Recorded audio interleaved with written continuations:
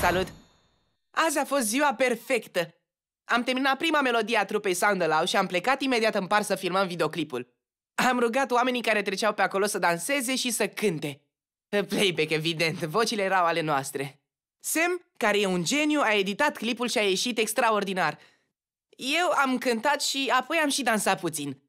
Eram atât de prins de energia acelui moment încât nici nu mi-am dat seama că tot s-a oprit să se uite la mine.